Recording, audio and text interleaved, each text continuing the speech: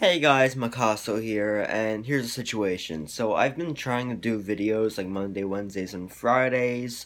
I just made it my schedule. I made it for myself, but yeah, I said I'm gonna make a schedule, so I'm trying to do that. So it's Friday. I'm about to upload my video. I was actually editing it last night. Um, it was a Virginia. It was a Virginia Beach vlog that I made last month.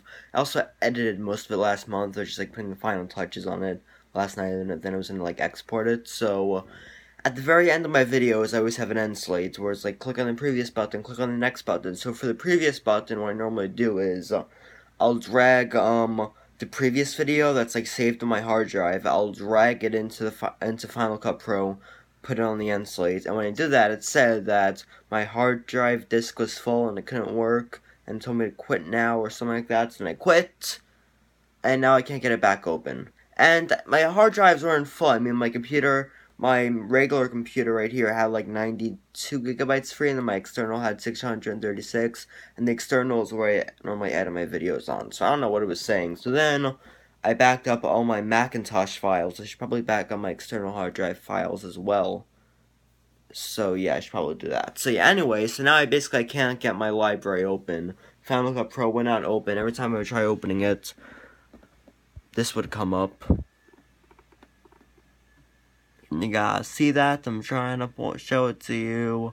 Yeah, basically it says loading July 6th, like that was the project title into the timeline. It would say that, it would get stuck on that, then it would normally crash. I think I went to Ikea today for a couple hours, and uh, it still didn't open. So yeah, that's that's a problem. I'm able to open up other libraries, just like not my main Macawso Final Cut Pro, which has all my videos on it. So I have a couple videos in there, so hopefully I don't lose all that. So yeah, any of you technology people, Final Cut Pro people, you know who know how to fix my problem, basically, um, I'm having an issue with one project, and all my entire library won't open. Alright, how do I get it to open? And maybe I'll go to like the Apple Store or something. I don't know. I mean, I could like bring my hard drive, plug it in, and stuff. Yeah, I'll figure something out. But yeah, so for now, I'm gonna upload this. It's a temporary vlog. I'll probably delete it on uh, whenever I get an, a normal video up, and I'll try to stay scheduled. If I have to upload it late, I'll upload four videos next week or something like that. I'll figure it out. I'm gonna try to stay on schedule as try my best. I feel like every time I try to like stay on schedule or do something, a problem always happens. Like the universe does not want me to upload videos. So I don't know.